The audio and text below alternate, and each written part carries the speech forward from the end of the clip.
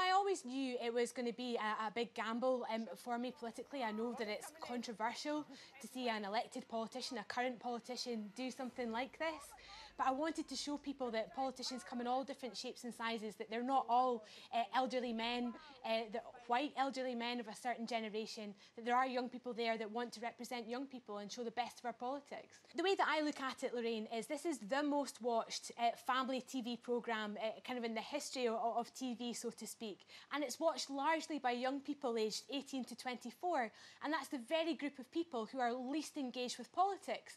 So a big part of why I wanted to do this was to go out there, and show people that politics matters, that there is a big difference between the two major parties, that your vote does count to encourage young people to vote, because it's only if young people vote that they'll get the type of change that they want to see in their country.